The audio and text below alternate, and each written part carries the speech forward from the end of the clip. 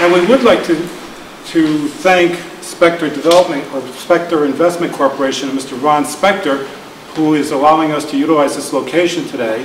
And Mr. Spector has endorsed Paul Roy for First Selectman here in Seymour.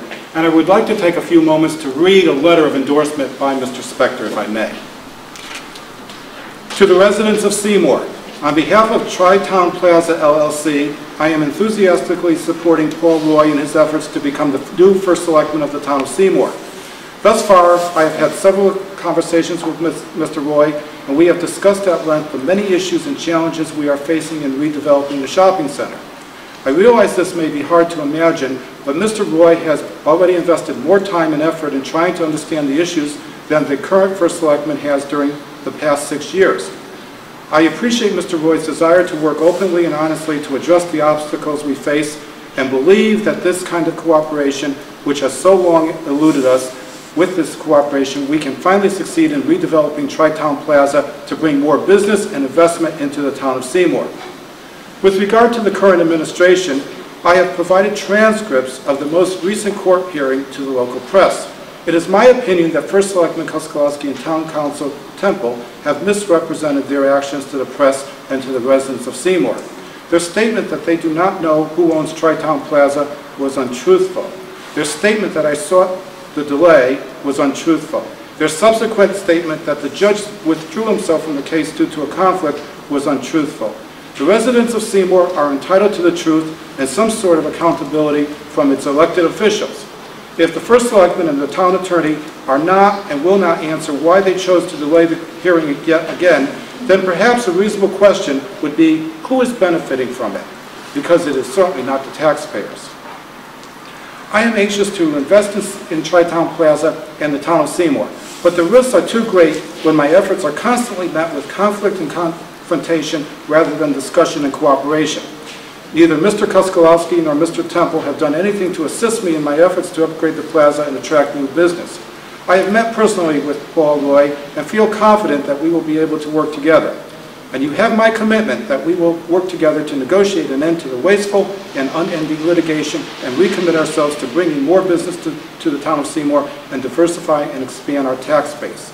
This alone will enable Seymour to lower taxes for all its residents, while at the same time having the revenues necessary to invest in Seymour's future. What's more, I fervently believe that Mr. Roy will always make his decisions based upon what is good for the town rather than what may benefit his own personal interests. Paul Roy will be good for Seymour, so please get out and support him and vote for him. Seymour's future depends on it. Sincerely, Ron Spector, Tri-Town Plaza.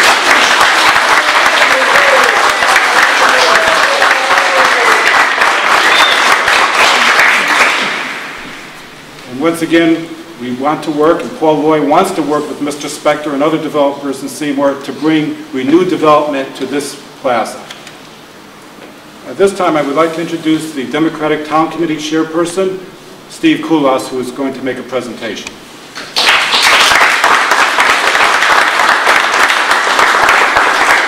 Thank you, Fred, and thank you, Paul, for allowing me to be here today. Um, for those of you who don't know me, again, I am the town chairman, and before I make the presentation, just have a few comments to make about economic development. In a recent article in one of the local papers, our first selectman was quoted that he didn't mind having vacant buildings in town because the landowners pay taxes anyways. Well, I'll leave aside the ability of a landowner who can't rent his building to pay those taxes, but the people of Seymour should also be aware that in commercial buildings, the property inside the buildings are taxed as well. Myself as a small business owner in town has to fill out a form every November to be taxed. Look at the emptiness of this building we're here. Imagine if it was filled with products, the increase in our taxes, and the less taxes to the people of Seymour. Look at the emptiness of New Haven Copper. Imagine if that was filled with machinery, and the increase in our taxes, and the less taxes to the people of Seymour. Look at the vacant lot where Seymour Lumber once stood, and imagine that filled with lumber and building material, and the increase in taxes to the town, and less taxes to the town people. How can anyone be a responsible leader and say he's satisfied with vacant buildings in our town? That is totally wrong, and we need a change. We need someone who will actively fill those vacancies to lower the taxes on our residents. And that man is Paul Roy.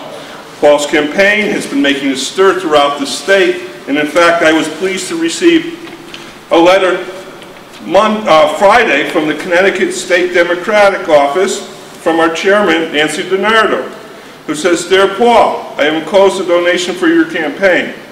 From my experience as the Democratic Town Chairperson for Trumbull, I know that every donation helps in the final days of the campaign. We as a party have significant challenges ahead of us at the local and state and federal level. Your success on November 3rd is the first step in laying groundwork for future success and finally getting a Democrat elected as governor. Please do not hesitate to contact me if there's anything I can help you do to help you towards a resounding victory on election day. And sincerely, Nancy DiNardo, Chairwoman of the Connecticut State Democratic Party. With that, I have a question with the I'd like to extend my own best wishes and good luck to Paul, and if we all keep working, I'm sure we can get Paul elected, and these vacant buildings in town will be filled. Thank you.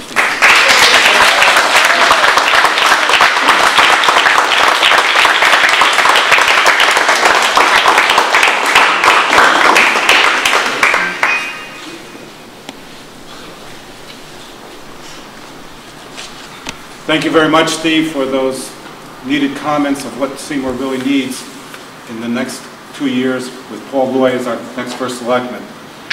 At this time, I would like to introduce our state representative, Theresa Conroy, who has been a fresh voice for Seymour and for our Democratic Party in Hartford. And Theresa has been working hard with the State Department of Economic and Community Development, and I know that she has some important information to share with us this afternoon. Theresa. Thank you, Mr. Sandy. I'm honored to be here today, um, to be with Paul and support him. Paul was behind me last year when I first started to- my campaign to run and stepped forward to be my campaign manager. When he announced this year that he wanted to run, I made the decision to be wholeheartedly invested in his campaign. I'm his campaign treasurer, and I just know that Paul is the right person to be our first, next first selectman. Paul has strong characteristics that we really are looking for in this town. Um, Time and time again, people have said to me, we need more transparency. I can't, I can't have a voice in the town as it stands right now. When I go to a town meeting, there's a lot of yelling and screaming from our current first selectman. Paul is someone that is open, he's honest. I'm sure that people that have been um, meeting with him out on the streets have all come back to me and said, you know, he seems like he's the right guy. When I go around to see businesses now, they said, you know, I think Paul's going to be our next first selectman. We need someone like him in office. Paul and I have sat down several times throughout this campaign um, to start coming up with the vision that I was running on my platform last year, but to have Paul with me linked up this year will be crucial. We're standing here in a vacant building, and I know I don't want to sound redundant on, on the taxes that we can bring in, but you know, there's also job opportunities here. When we have stores, they're usually manned by, you know, our teenagers, our college students. Right now, they're having to go out of the area to go find a job. The cost of gas is prohibitive. Um, By having places here, it'll be a resource right here for our own kids and the young adults growing up.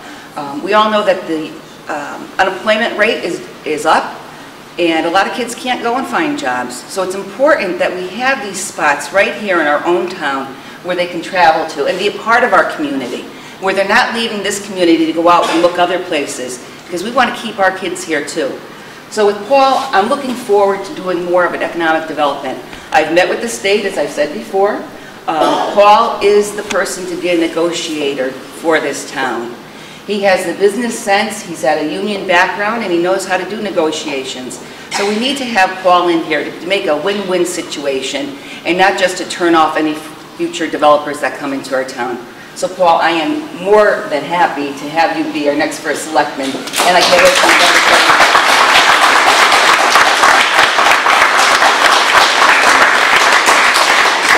you Thank you.